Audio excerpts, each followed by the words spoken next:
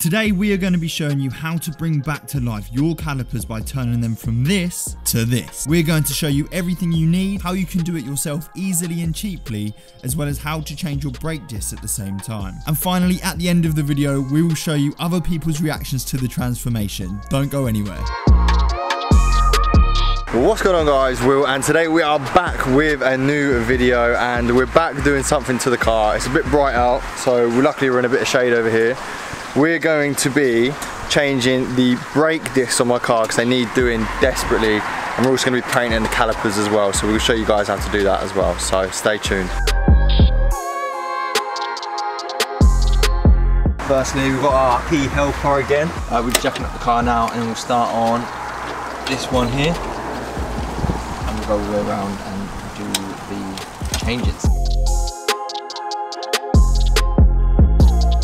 So now that the tyre is off, we need to take off the filthy old caliper and warm brake discs. As you can see here, the caliper was definitely looking a bit worse for wear and needed a bit of rejuvenating to bring it back to life. The brake disc on the other hand has started to get a rusty lip all the way around the outside, so the new brake discs were definitely overdue. I just want to take some time out of the video to say if you do enjoy the video, please remember to leave a like and a comment down below. It really helps the YouTube algorithm know that you're enjoying this content. Also remember to subscribe and ding that notification bell to stay tuned for future uploads. Check out all of my other socials as well. I'll leave them on the screen now and in the description box below. Let's get back into it. So as you can see, we're going to go for the red calipers. I think that look really nice on the black car. So got this one for the high temperature paint. Uh, we need to clean them all off first. That's what this is all for. And then these are for the bolts to make sure they don't come undone. And some masking tape as well. But first, we need to change the discs. I'm going to try and get more and more hands on today. Liam's helping me supervise um, but he's going to teach me how to do the discs and then with the spray painting we'll have a go myself and hopefully we can learn for the future as well and hopefully you guys at home will be able to learn as well. So taking off a caliper can be quite daunting, however it's quite easy. Firstly, unscrew two screws from the back of the caliper using standard Torx screwdriver bits. We hit a problem with the last bolt holding the caliper in place which needed a new M spline piece. We didn't have these in our set so we needed to go buy one, but before we could do that, this happened. It's not gone to plan. It's not gone to plan. Alright, stopped raining now, we're back at it. We've just been to Halfords to get some tools. Uh, we're now just taking off the stuff again, so we'll get to that and then we'll update you of what's next. So we have taken off, we've literally been running around trying to get these special bolts. Essentially, essentially we got some bolts but we needed some special ones which Halfords didn't get. So we went and got some. They didn't work so we went and got a refund and then we had to go to three different shops to get these special tools. We've got them we've now got everything off. We've got the old one off. And now what we're doing is we're just cleaning it up making sure that all of like the the shit and stuff that's on there is off. And we can start putting the new ones on and then we can start spraying the calipers. So the sun's out it's not raining anymore. We're good to go Next, we decided to check the brake discs were the correct size and how they looked on the car. To my surprise, they were very easy to install and were just held on by one screw. We did, however, decide to take them back off again to paint the caliper as it made things a hundred times easier. So we made this look all blacker and better. These, so much more nicer than these. I was like, yeah, I don't even need to do more ones. I think I did need to do Just a little bit. So there we go, I told you I was getting more hands on, I'm going to keep doing that across the build. What we're going to do now is get the caliper and we're going to start spraying it red. First we need to clean it up, so let's get into that.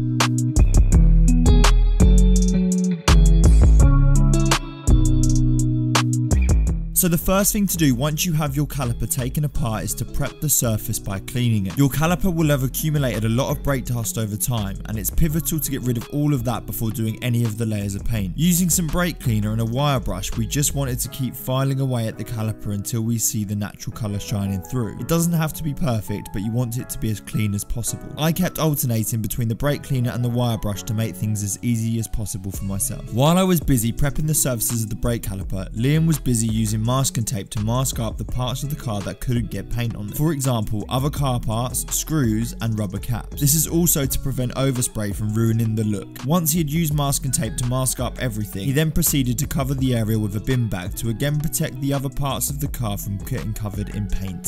So we didn't record that one because I was having a go. I'll record it next time. Liam was supervising me, but looks pretty decent even on the first coat. We're going to do two or three coats. Let's look at this one. Bosh. To look sick already, you can just tell. Right, that's coat one. Done. When spray painting, it's important to apply an even coat to all angles. To do this, use a sweeping motion about 8 to 10 inches away to get the main coat. To hit the more tricky bits, we go a bit closer but using lighter sprays. The key here is to avoid the paint dripping as this will ruin the finish. You can always do another coat if your layers are too thin. After 3 coats, you can then add your lacquer. This is going to add the shine. So now everything is lacquered, we can put it all together and then just doing a few finishing touches. We're going to need to put the bolts back on so we've got some of this so that the bolts don't come off again.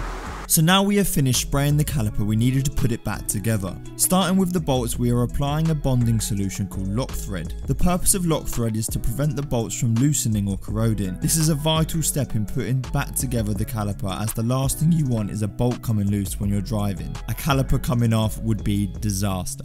Before the bolts can be locked into place, we needed to fit the brake disc on. This was an easy step as explained earlier. Once the brake disc was on, we needed to put things back together in reverse order, starting with securing the brake pad and then tightening the bolts we previously put our lock thread on. After this, we could then put our spring clip back in place and rubber caps back on. And that is the first one done. So what we're doing now is we're just putting everything back together on this one. We've pumped the brakes, making sure the brakes are not too tight but not too loose as well.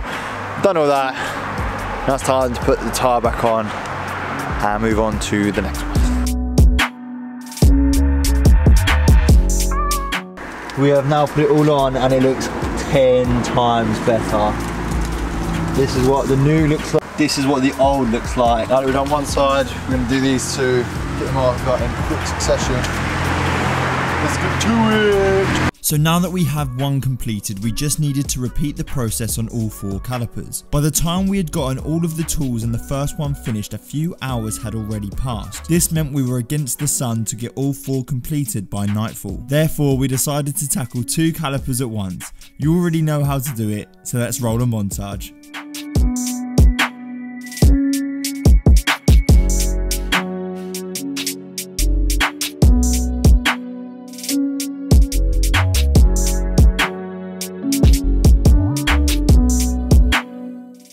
Got the old torch out, but it's looking meaty. We're doing these two birds in one stone, so both of these should be done fairly soon.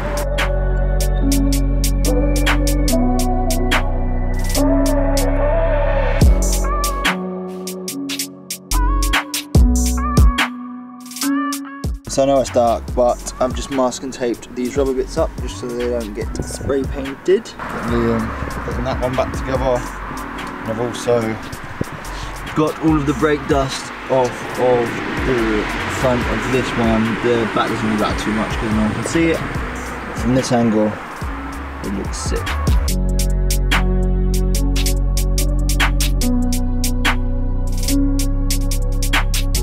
It's taken a little longer than expected, but finally, the last one is ready to go on.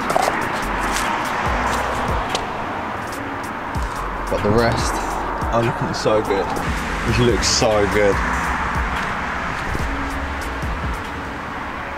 It's pitch black, but nearly done. Like 10 more minutes, I'd say. Let's get it. The last coat is done. This one's dried up real nice.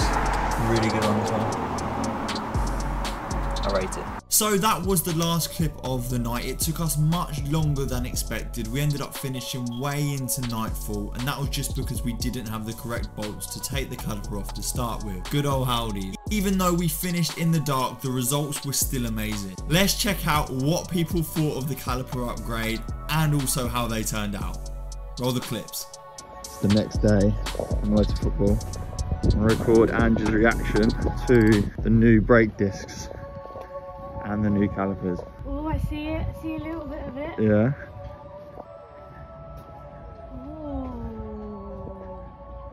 Very nice. There's no rust. No rust. No rust. Finally. Oh, now we, looks good though. Now we just need to get the alloys sorted and it will look clean. That looks good. Look at the front one, the front one's bigger. Looks, oh yeah, that looks nice that. Ooh. Happy? Lovely. I mean, it's not my car, but I am. Happy I spent all day doing it? No.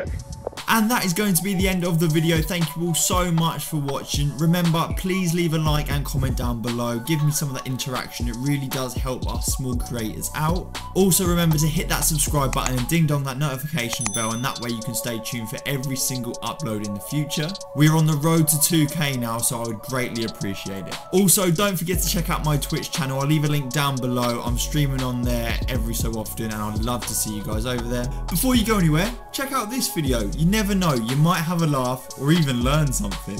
Go on, what have you got to lose?